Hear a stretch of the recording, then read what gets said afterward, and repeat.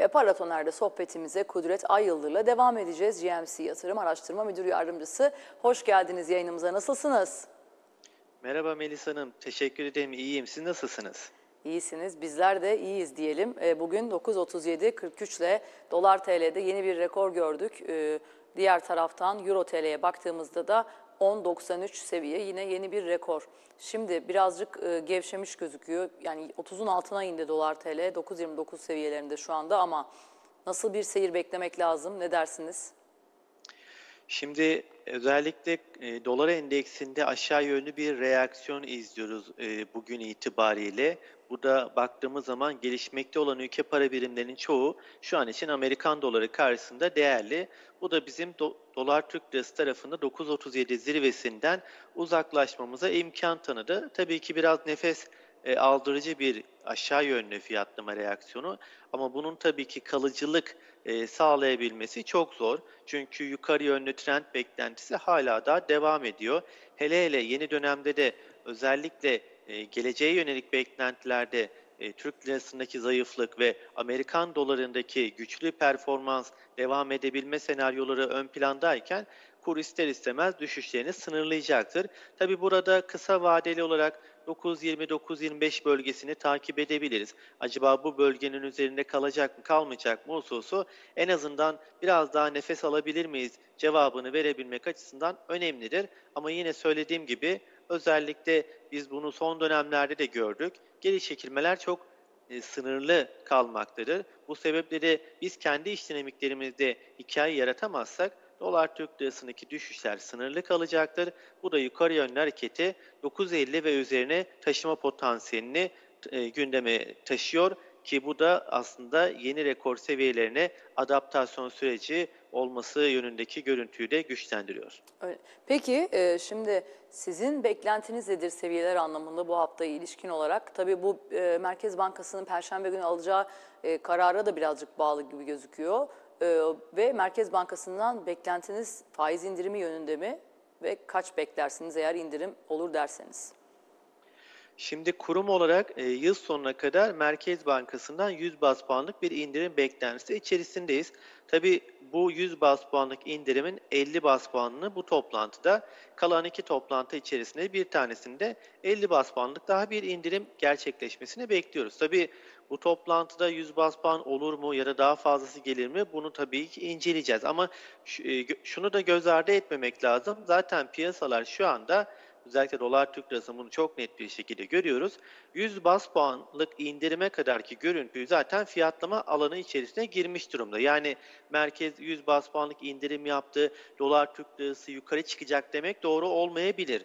Bu sebeple de e, burada işte işlemcilerin biraz daha dikkatli olması gerekiyor. Çünkü daha önceden zaten indirim beklentileri e, piyasaya aşılandı ve buna göre de fiyatlama reaksiyonu gördük. Tabii burada merkez bizi şaşırtıp da iktisadi anlamda mevcut konjöktürü dikkate aldığında pas geçerse o zaman Türk lirasında güçlenme ve dolar Türk lirasında aşağı yönlü bir eğilim izleyebiliriz. Tabi ihtimali çok zayıf olsa da 100 bas puanın üzerinde indirim gerçekleşmiş durumunda işte o zaman dolar Türk lirasında çok daha yukarı yönlü reaksiyonlar görülebilir. Şu anki aşamada baktığımızda yani ana denklemde orta vadeli konjöktürde 9-9-10 bölgesi, kısa vadeli görüntüde de 9-20-9-25 bölgesi dolar Türk lirası için önemli bir eşik bölgesi. Bu bölgenin üzerinde kaldığı müddetçe kısa vadeli 9.40'lar biraz daha genel geçer bir görüntüye baktığımızda 9.50-9.60 bölgesine doğru bir hareketlenme beklentisi kurt tarafında izlenebilir.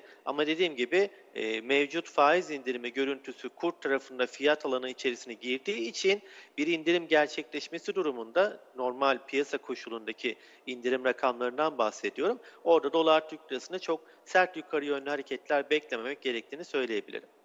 Evet, şimdi dediğiniz gibi aslında kritik hepimizin konuştuğu konu da bu haftanın gündemi tabii ki Merkez Bankası'nın faiz indirip indirmeyeceği konusu. Şimdi şu notu da ben iletmiş olayım yayındayken. TÜSİAD Yüksek İstişare Konseyi Başkanı Tunca Özülhan, TÜSİAD'ın Yüksek İstişare Kurulu toplantısında konuştu. Ve de buradaki vurgusu şu, Türkiye Cumhuriyet Merkez Bankası'nın bağımsızlığı tartışma dışı olmalı diyor Tunca Özilhan. Ve de Merkez Bankası gibi kurumların bağımsızlığının e, tartışma dışı olması gerektiğini söyledi ve Türkiye'nin geleceği için hukukun üstünlüğü, çoğulcu demokrasinin güçlendirilmesi ve kuvvetler ayrılığına da e, vurgu yaptı. Notu var haberlerde. Şimdi sizden de bu konuda bir görüş almak isterim. Şu andaki tablo neyi işaret ediyor sizce? Tabii bu özellikle bu işi yapan biz meslektaşlar için de çok önemli. Çünkü bizler e, kurumların e, resmi rakamlarına göre analizler yapıp bunları sizler vasıtasıyla ya da raporlarımız vasıtasıyla e, piyasa katılımcılarına paylaşmaya çalışıyoruz. Bu sebeple de Türkiye İstatistik Kurumu olsun, Merkez Bankası gibi önemli kurumların gelen data setlerine göre bir çalışma oluşturuyoruz. Yani bunların bağımsızlığı, güvenilirliğine soru işareti olmaması gerekiyor. Bu tabii bu konuyla alakalı ister istemez piyasalarda ve insanlarda bir soru işareti oluşabiliyor. Bu da en basit TÜİK'teki enflasyon rakamının işte piyasa e, insanların gerçek enflasyondaki çarşıya pazara çıktığındaki rakamlardan bağımsız kalması ya da işte Merkez Bankası üzerinde bir siyasi otorite baskısının işte insanlar nezdinde e, dillendiriliyor olması. Yani bunların hepsi ister istemez Merkez Bankası kredibilitesine ve e, Türkiye'nin güzide kurumlarının risk belirlenmesinde de e, önemli etkenler oluyor ki CDS puanlamasında da zaten bunu çok net bir şekilde görebiliyoruz. Bu sebeple de Merkez Bankası'nın bağımsızlığı, TÜİK'ten gelen rakamların gerçeğe uygun bir şekilde e, piyasa nezdinde kucaklaşması ve insanların da buna güven duyuyor olması bizim için artı avantajı olacaktır. Bu e, güveni zedeleyecek her türlü açıklama, her türlü yorum ister istemez bu e, belirsizliği de beraberinde getireceği için beklentileri yönetime konusunda Merkez Bankası'nı ciddi anlamda e, sıkıntıya sokacaktır. Şunu da bilmekte fayda var. E, ABD Merkez Bankası'nın eski başkanı Ben Bernanke'nin çok önemli bir sözü var. Merkez bankacılığı yönetiminde %98 iletişim, %2 aksiyon. Yani bu sebeple de ki Fed'in de şu anki piyasayı nasıl yönlendirdiğini de dikkate aldığımızda Merkez Bankası'nın piyasayı yönlendirmesi demek aslında fiyatlara da otomatik olarak net bir şekilde yönlendirme aşaması olduğunu görmemize imkan tanır. Eğer Merkez Bankası'nın mesajları piyasa tarafından kabul görmüyorsa işte o zaman bir ayrışma yaşanır ve bu da piyasa fiyatlama reaksiyonlarında çok sert etkilerin oluşmasına olanak tanır. Merkez Bankası da bunu çözebilmek için yapacağından çok daha fazla agresif bir tona bürünmek zorunda kalabilir. Bunu çok net bir şekilde daha önce işte Naci Ağbal'ın göreve gelmesi, Naci Ağbal'ın görevden ayrılması, e, yeni başkanın e, tekrar devreye girmesi ve piyasanın gelmiş olduğu bu noktadaki fiyatlama reaksiyonunda en canlı örnek olarak da aktarabiliriz. Bu sebeple de e, Türkiye'deki kurumların bağımsızlığı ve güvenilirliği kazanması çok önemlidir finansal piyasalarda diyebiliriz. Evet, şimdi genel olarak baktığımız zaman bir Asya tarafından da alalım aslında konuyu. Dün çünkü Çin'de biliyorsunuz veriler açıklandı, büyüme verileri 3. çeyrek beklentilerin altında geldi. 5.2 beklenirken 4.9 oldu veri. Sanayi üretiminde de veri beklentilerin altında geldi. Orada biliyorsunuz bir Evergrande konusu var ve bunun yayılıp yayılmayacağı şeklinde bir gündem. Ee, dolayısıyla Dün aslında Çin Merkez Bankası'ndan e, başkandan bir açıklama gelmişti. E, kontrol edilebilir boyutta olduğunu söylemişti Evergrande krizinin. Fakat mevcut oradaki sizce görünüm şu anda nasıl riskler e, taşıyor dünya ekonomileri için? Tabii dünyada aslında sadece Çin özelinde değil, dünyada bir enflasyon, hatta bir stagflasyon e, görüntüsü söz konusu. Yani enflasyonda zaten artış eğilimini çok net bir şekilde devam ettiğini görebiliyoruz. Ama bir yandan da özellikle büyümeye ilişkin e, negatif yönlü revizelerin olduğunu da görebiliyoruz. Yani yukarı yönlü rakamları artık yavaş yavaş aşağı çekme görüntüleri dikkat çekiyor. Tabii bu noktada ülke ülke ayrışmalar izlenecektir. Örnek veriyorum Amerika'da bilanço sezonunda olumlu gelen raporlarla birlikte tekrar bu e, hava kırılmış olabilir. Ama genel anlamda enflasyonun getirmiş olduğu kriz, enerji maliyetlerinde yukarı yönlü hareketler, burada da yaşanılan krizler e, global tarafta gelişmeleri çok yakinen etkiliyor. Tabii dünyanın en önemli iki ekonomisi Amerika ve Çin. Bunlara da e, bakmak mecburiyetindeyiz. Asya tarafında özellikle Çin'i de göz ardı edemiyoruz. Oradaki olumsuz hava ister istemez diğer bölgelere de sıçrayacak mı? Ya da genel bir algıda bozukluk olacak mı gibi soru işaretlerini de beraberinde getiriyor. Tabii ki rakamlarda beklenti altında kalması ister istemez bu görüntüyü de e, güçlendirebiliyor. Ama tabii ki tek bir veri setiyle iş e, bitmiyor. Genel bir veri e, yo- yorumlamasına bakmak lazım. Genel bir algıya bakmak lazım. Arada düzeltmeler tabii ki olacaktır. Süreklilik arz etmeyecektir.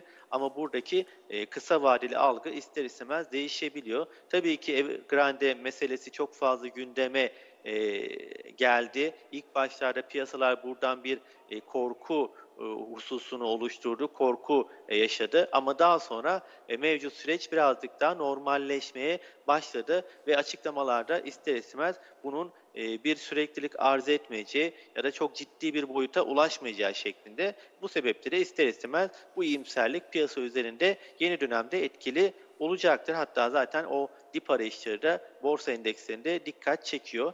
Bu sebeple de hani Çin ve ABD ekonomisindeki göstergelerdeki e, e, büyüme, enflasyon detaylandırmaları aslında genel dünya geneli içinde önemlilik arz edecektir. Büyümeye ilişkin e, kaygılar artarsa, büyüme rakamları aşağı yönlü revize edilirse ister istemez burada borsa performansları da olumsuz etkilenecektir diyebiliriz. Şu an içinde veri setleri buna göre yorumlayacak olursak Çin tarafında bu rakamı görmüş olduk. Ama Amerika tarafında şu an için e, bilanço pozitifliğiyle birlikte daha istekli olduğunu, daha pozitif tarafta olduğunu söyleyebiliriz ki FOMC tarafından da çeşitli kurumlardan da Amerika özelinde e, bu stagflasyon endişesinin e, yersiz olduğunu ilişkin açıklamalarda geldiğini söyleyebiliriz.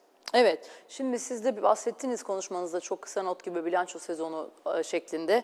Ben burada hemen bir e, bilgi vermiş olayım seyircilerimize de. Şimdi S&P 500'de bu hafta bilanço açıklayacaklardı. Johnson Johnson, Procter Gamble, Netflix, United Airlines, American Airlines, IBM, Intel ve Tesla var.